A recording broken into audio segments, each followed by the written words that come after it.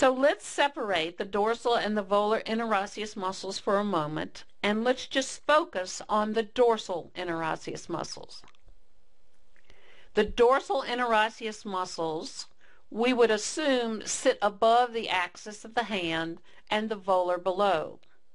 However, as we've already outlined, their origins are very dorsal, but the muscle bellies themselves do not stay in the dorsal aspect throughout the length within the metacarpal area. We see this again on the cross section that even though the dorsal interosseous muscles are more dorsal than the volar, they do not lie above the metacarpals, they are literally more between them. The volar interosseous muscles are indeed volar both to the dorsal interosseous muscles as well as the metacarpals. So the term volar and dorsal are to some extent correct, obviously, because in relationship to one another, that is indeed the orientation of these muscles. But the dorsal interosseous muscles are not dorsal to the metacarpals. If I were to ask you, how many bellies does each dorsal interosseous muscle commonly have? Would your answer be one, two, or three? The best answer would be two, because indeed, usually there are two bellies of the dorsal interosseous muscle that insert in different locations. So what would you say are the primary function of the dorsal bellies of the dorsal interosseous muscles? Let's take a look at this. And I hope that you do not become confused because keep in mind that currently we are only discussing dorsal interosseous muscles. But now we're going to be talking about the dorsal belly of the dorsal interosseous muscle as well as the volar belly of the dorsal interosseous muscle. We are not at this moment discussing volar interosseous muscles, but only the volar bellies of the dorsal interosseous muscles. In looking at the left long or middle finger, when looking at this drawing, we are looking at a dorsal belly and a volar belly of the dorsal interosseous muscles. Now remember, the previous drawings we've looked at in this series have been of the left ring finger, which has different anatomy. The long or middle finger has dorsal interosseous muscles on both sides and does not commonly have a volar interosseous muscle. Now, the dorsal belly is called dorsal, I assume, because it is indeed above or dorsal to the volar belly. But what creates confusion, I think, is that they literally cross over one another, and the volar belly proceeds and inserts uh, into the capsule and then ends into an insertion at the base of the proximal phalanx. So the volar belly has a very proximal insertion. The dorsal belly, traversing underneath the volar belly tendon, becomes part of the dorsal interosseous and inserts into the fibers that are both transverse and oblique. Therefore, the dorsal belly of the dorsal interosseous muscle affects motion throughout the entire length of the finger. The same would be true here on this side, which we've not drawn in the same way. The dorsal belly would influence the dorsal apparatus. This becomes fairly easy to remember. The dorsal belly of the dorsal apparatus inserts into the dorsal apparatus. So if you can remember the three Ds, dorsal, dorsal, dorsal, you can remember that the dorsal interosseous, which has a dorsal belly, inserts into the dorsal apparatus. That should make it easier for recall. As we know, the dorsal interosseous muscles are responsible for abduction or spreading of the fingers. Commonly, there is no insertion of a dorsal apparatus muscle on the little finger. The abductor digiti quinti assumes this function on the little finger. If you look carefully at this, you can see the insertions into bone that are providing abduction. And I am assuming that these other insertions into the dorsal apparatus can assist with that abduction as well. But if the other muscle bellies are assisting with abduction, now these are the dorsal bellies of the dorsal interosseous, they also are simultaneously helping to extend the finger. We can see these insertions here that are pure abductors. In my view, this is exactly why abduction of the fingers is more powerful than adduction because they don't have to share their power with any other joints. They are purely abducting the metacarpophalangeal joint. The origins of the dorsal interosseous muscles, slightly dorsal, if you look at them carefully, are long and although not very wide, they cover a significant surface area of the metacarpal.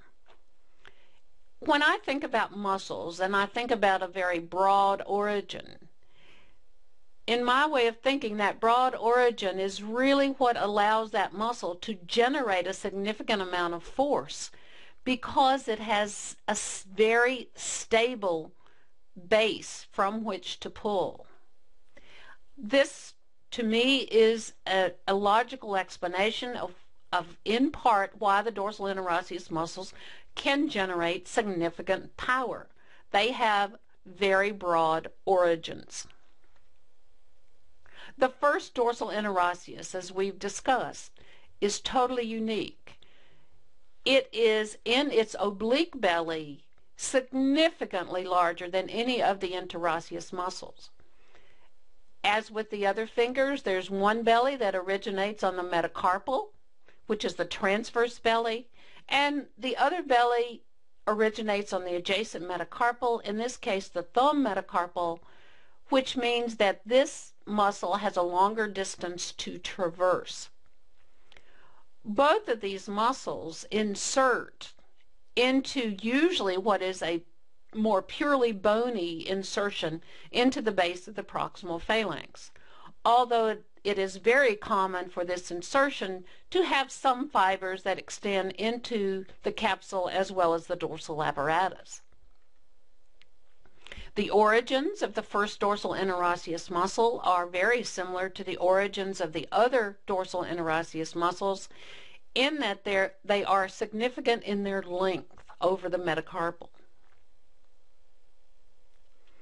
If we look at the left long finger again and we think of the crossover of these two bellies, and we think that one of these muscle tendon units extends into the length of the finger, needing, I would assume, more excursion than the muscle belly that just inserts into the metacarpal, eh, excuse me, just distal to the metacarpal phalangeal joint there would need to be some differential movement between these muscle tendon units.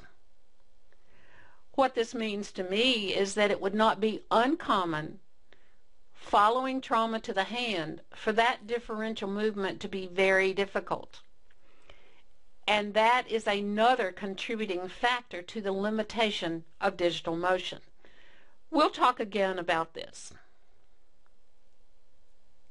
So the dorsal belly of the dorsal interosseous muscles crosses under the volar belly and inserts into the dorsal apparatus. The volar belly crosses over the dorsal belly and inserts just distal to the metacarpal phalangeal joint. There is within the finger an area where also the lumbrical and the interosseous muscles being close together become adherent relatively easy to one another. That is just before they meet the intermetacarpal ligament. That adherence of those mm, tendon units is called saddle syndrome. This crossover, where I believe there can be some adherence that influences digital motion, is not saddle syndrome. The saddle syndrome are the tendons that are the tendons of the interosseous muscle and the lumbrical muscle.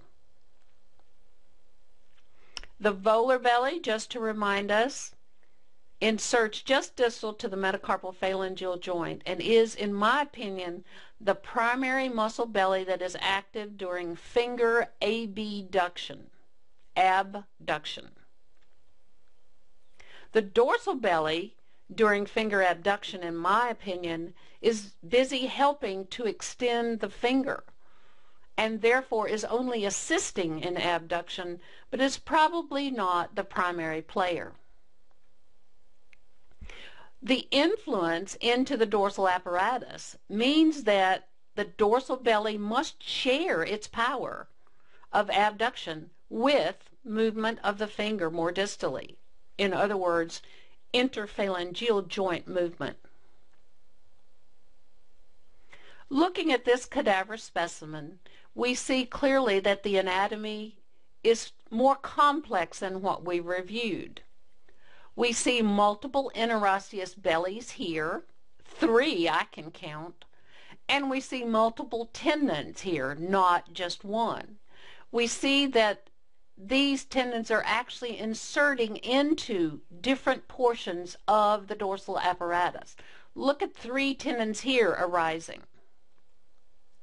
As we pull on the tendons, we can see their tension into different parts of the dorsal apparatus. The middle one, and here we see the tension directed to the most volar one, which is literally the lateral band. So even though we have looked at and reviewed this anatomical drawing, this is the perfect example. The, the anatomy is somewhat different, but the principle is the same. The interosseous muscles are sharing their power throughout the dorsal apparatus into different fiber units. Now, we're still talking about the dorsal interosseous muscles. But let's look specifically at the volar bellies. Do you remember what we said was the primary function of the volar bellies of the dorsal interosseous? We did say that the dorsal bellies of the dorsal interosseous muscles insert into the dorsal apparatus. So that means that the volar bellies, I would assume, do not insert into the dorsal apparatus. And we've talked about their importance in abducting the fingers. Here's a schematic drawing that shows this to us. The volar bellies of the dorsal interosseous muscles. Now remember, there are four dorsal interosseous muscles, and for some reason, three of them usually, not always because it's highly variable, but three of them usually insert into bone, and for some reason, this quirky long finger often has on the ulnar side an insertion into the dorsal apparatus. Now remember, we are not talking about the volar interosseous muscles, just the volar belly of the dorsal interosseous muscles. We see that that one belly has some influence into the dorsal apparatus and thus the fibers, both transverse and oblique. The abductor digiti minimi, as we discussed, would be the structure on the little finger that assumes the same function as the volar bellies of the dorsal interosseous muscles. The pure A, B, or abductors that spread the fingers apart from one another. Because there are no dorsal interosseous muscles that usually insert into the little finger. Now, the dorsal bellies of the dorsal interosseous muscles we're looking at again. And here again we have four muscles. We have four dorsal interosseous muscles, so we have four dorsal bellies. And again, there's a bit of an anomaly. We said that they insert into the dorsal apparatus, with the exception on occasion being the first dorsal interosseous. Usually that is primarily a bony insertion, although there may be some contribution to the dorsal apparatus. Obviously, the dorsal bellies of the dorsal interosseous muscles have influence over the dorsal apparatus of particularly the long and ring fingers, influencing just in the same way the transverse and oblique fibers as well as the entire apparatus itself. The index finger, as we know, has the largest muscle, which is the first dorsal. There are still dorsal and volar bellies, usually primarily inserting into bone, but sometimes sharing some fibers into the dorsal apparatus. The volar belly is the oblique belly and is significantly larger than the dorsal belly, which is parallel to the first metacarpal. If we look at this cross section, we see that very clearly how much larger it is from the others. The structure below it is the adductor, which is has also significant size and in total is larger than the first dorsal. The adductor is the largest intrinsic muscle in the human hand. The oblique and transverse heads are called this because they are somewhat different from the just the dorsal and volar belly name. However, it is not incorrect to also call them the dorsal and the volar belly, but they are not commonly referred to by those names. They are commonly referred to as oblique and transverse head or belly. In this lateral view, we see where the name transverse and oblique comes from because the oblique fibers do indeed, with abduction of the thumb, lie in, in an oblique plane. Now the long finger, as we know, has dorsal interosseous muscles on both sides. Therefore, there is a volar belly on both sides.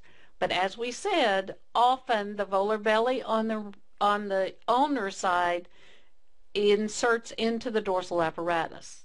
But remember, because this is variable, it could be exactly opposite. The dorsal belly, however, inserts into the dorsal apparatus bilaterally, and that means when we put them together, the dorsal and volar bellies have influence into the dorsal apparatus on one side and the other side there is a more pure abductor.